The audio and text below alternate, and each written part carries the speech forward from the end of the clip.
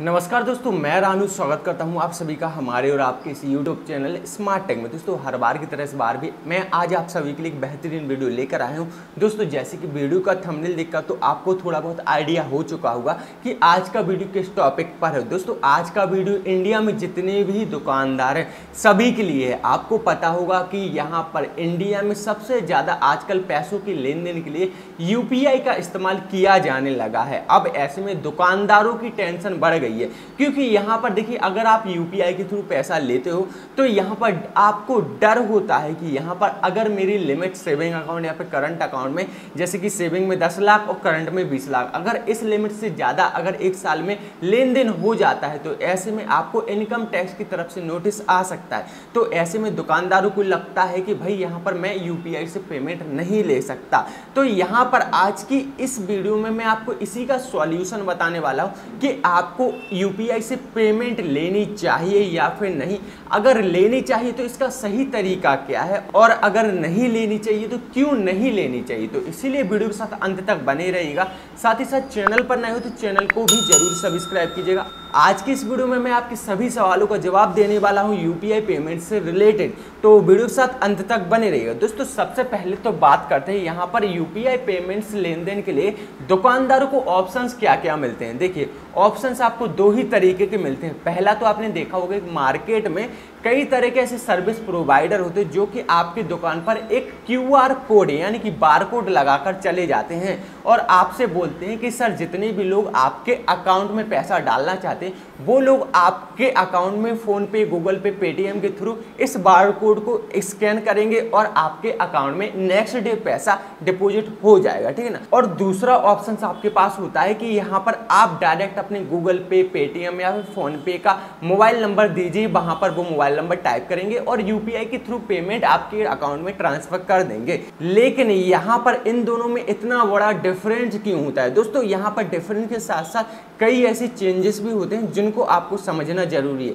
अगर दुकानदार Q R code के थ्रू पेमेंट लेता है तो उसका पेमेंट एक दिन बाद उसके अकाउंट में सेटल्ड होता है। और अगर दुकानदार यहाँ पर डायरेक्ट मोबाइल नंबर के थ्रू पेमेंट अपने अकाउंट में लेता है तो तुरंत उसके अकाउंट में सेटल्ड हो जाता है, ठीक है ना?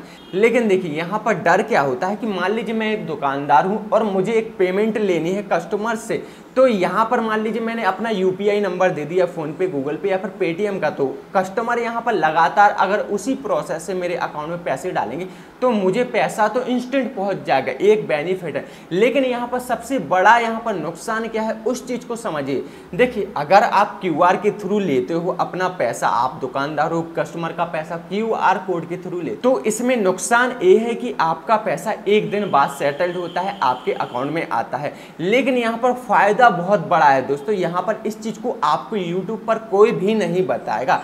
फ़ायदा ये है कि यहाँ पर दोस्तों, आप यहाँ पर जितना भी पेमेंट यहाँ पर क्यू आर कोड के थ्रू लेते हो अपने कस्टमर से तो वो पेमेंट आपका सेल पेमेंट कहलाएगा। मतलब कि आपने किसी प्रोडक्ट को सेल किया और कस्टमर से पैसा लिया तो वो सेल्स में चला जाएगा। जब भी आप आईटीआर फ़ाइल करवाओगे किसी भी सीए वगैरह से तो सीए बोलेगा कि आपका सेल अलग होगा और इनकम अलग होगी।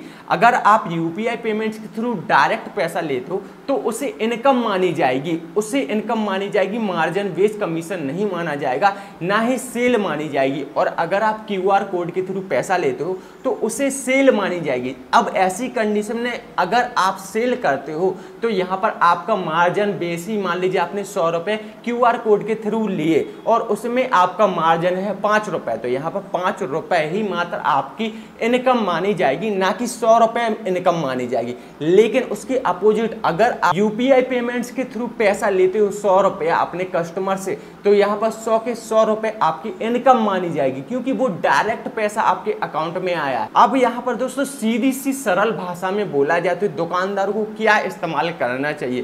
क्यू आर कोड या फिर यूपीआई तो यहाँ पर मैं सभी दुकानदारों से रिक्वेस्ट करूँगा कि यहाँ पर अगर आप लीगल तरीके से दुकानदारी करना चाहते हो तो यहाँ पर किसी भी कंपनी का क्यू आर कोड ही इस्तेमाल करें ताकि कस्टमर आपको बिना मोबाइल नंबर पूछे, बिना मोबाइल नंबर जाने आपके अकाउंट में पैसा भी ट्रांसफ़र कर सके। और आपने यहाँ पर जो भी प्रोडक्ट या फिर जो भी सर्विस दी है अपने कस्टमर को उस सर्विस के दौरान आने वाले पैसे को सेल्स में ही गिना जाए, ठीक है ना? सेल्स में ही गिना जाए और उसका मार्जिन बेस कमीशन ही माना जाए। तो इसमें अगर आप इनकम टैक्स फ़ाइल करते हो या फिर कल के दिन आपको नोटिस भी आ जाता है तो यहाँ पर आप इनकम टैक्स रिटर्न फ़ाइल करते वक्त दिखा सकते हो या फिर उन्हें जवाब दे सकते हो कि, सर, ये मेरा बारकोड के थ्रू पैसा आया है और यहाँ पर जितना भी पैसा आया है वो सिर्फ़ मेरी सेल्स थी तो ऐसे में आपसे कोई भी यहाँ पर कुछ नहीं रहेगा और गवर्नमेंट को ये कोई अधिकार भी नहीं है कि आपके ऊपर कोई क्लेम कर सके, ठीक है ना? और यहाँ पर जैसे कि मैंने आपको बताया, यहाँ पर नुकसान क्या होता है कि यहाँ पर एक दिन बाद आपके अकाउंट में पैसा आता है। लेकिन यहाँ पर जो एक दिन बाद पैसा अकाउंट में आता है, वो आखिर क्यों आता है? तुरंत क्यों नहीं आता है? बहुत से लोगों के मन में सवाल ये भी होगा।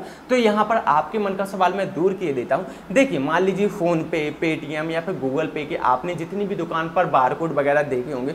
तो भाई, इनका कमाई का सोच क्या है? ये तो आपको फ्री में बारकोड देकर चले जाते हैं। तो ऐसे में इनको भी कुछ मिलना चाहिए, है कि नहीं? तो यहाँ पर होता क्या है, जो चौबीस घंटे तक अमाउंट जितने भी दुकानदार का ये फ़ोन पे अपने पास रख, उस अमाउंट का इंटरेस्ट के रूप में कंपनियाँ कमाती हैं। इंटरेस्ट उस अमाउंट का, एक दिन का इंटरेस्ट जितना भी बनता है, उसका कंपनियाँ कमा लेती हैं। इसके बाद वो अगले दिन आपके अकाउंट में सेटल्ड कर देती हैं सेफली सिक्योरली यहाँ पर ऐसा नहीं होता है कि यहाँ पर कंपनियाँ आपका पैसा खाकर भाग जाएँगी। देखिए बार कोड लगाने के लिए यहाँ पर आरबीआई से अप्रूवल लेना होता है तो इसीलिए अगर अगर कोई भी कंपनी बीच में आपका पैसा लेकर भागती है तो यहाँ पर आरबीआई द्वारा ये नियम होते हैं कि ढाई लाख रुपए तक की धनराशि आरबीआई की तरफ़ से वापस आपको की जाएगी। तो ऐसे में आपके लिए सेव एंड सिक्योर होने वाली है क्यूआर कोड द्वारा की गई पेमेंट तो इसीलिए आप क्यूआर कोड का इस्तेमाल करें। तो दोस्तों, कैसा लगा आज का आपको ये वीडियो? अगर वीडियो पसंद आए तो वीडियो को लाइक कमेंट करना ना भूले। साथ ही साथ दिए गए इंस्टाग्राम आईडी पर ही फॉलो करें।